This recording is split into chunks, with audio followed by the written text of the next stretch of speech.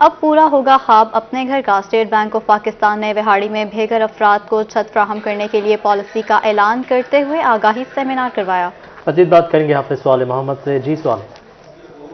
जी, बिल्कुल, हुकूमत पाकिस्तान की जानब से लोगों को घर देने का वादा पूरा होने जा रहा है। इस सिलसिले में state bank state bank of Pakistan की जानब से आज जो है बिहाड़ी के अंदर बिहाड़ी चैम्बर ऑफ़ कॉमर्स के एंड पे जो है आज बहुत बड़ी जो है खुशखबरी सुनाई गई है कि अपना घर मेरा घर, मेरा पाकिस्तान, इस हवाले से वकास काशिफ बाजवा साहब हमारे साथ मौजूद है, state bank of Pakistan Multan के चीफ मैनेजर हैं, हम इनसे बात करते हैं।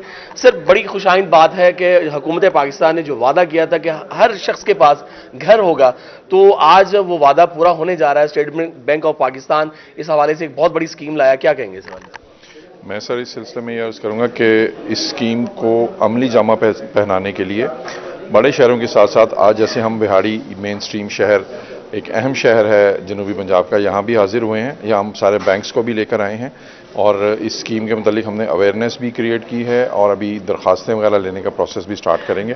तो हम अपनी पूरी कोशिश कर रहे हैं कि इस स्कीम को, के थ्रू लोगों को ज़्यादा से ज़्यादा और जल्द अज जल्द जो सहूलत जो है वो फराम की जाए। जी बिल्कुल इस स्कीम के तहत जो है वो लोगों को सहूलियात फराम की जाएँगी कि बिहारी चैम्बर ऑफ़ कॉमर्स के सदर शेख नईम पाशा साहब हमारे साथ मौजूद हैं। शेख साहब बहुत बड़ी अचीवमेंट है। आपने मुल्तान में रजा बाकर साहब से भी मुलाकात की है उस हवाले से उनसे बात भी की।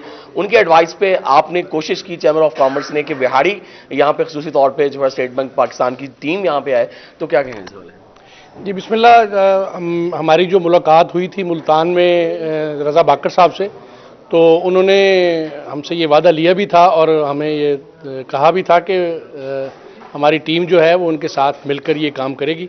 तो इस सिलसिले में आज ये एक पहला कदम है हमने विहाड़ी में और विहाड़ी के लोगों के लिए, बुरेवाला के लोगों के लिए और मेलसी के लोगों के लिए खासकर।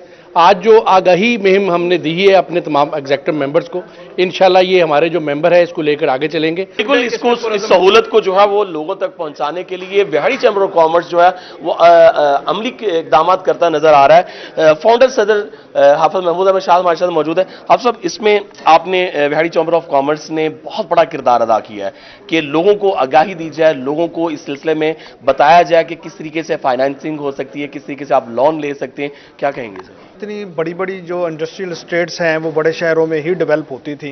लेकिन मैं समझता हूँ कि शायद ये पहली बार हुआ है कि स्टेट बैंक ने बड़ी ख़ास तोज्जो की है और हमारे प्रेसिडेंट साहब जो हैं, वो उनके साथ जब मीटिंग करके आए तो उन्होंने वादा किया कि हम बड़े शहरों के साथ साथ छोटे डिस्ट्रिक्ट जो हैं, उनमें भी ये स्कीमें लाएँगे। एसएमई सेक्टर को जो वो लोनिंग की स्कीम दे रहे हैं, वो बहुत अच्छी है कि वो इंडस्ट्रियल जो हमारे दोस्त हैं या बिज़नेस करना चाह रहे हैं, नया या पुराना कर रहे हैं तो उनको कोई कोलेट्रल कोई उसके बदले में एक करोड़ रुपए का जो लोन लेना है, उसके बदले में कोई अपनी प्रॉपर्टी या कोई चीज़ रहन रही, नहीं रखनी पड़ेगी।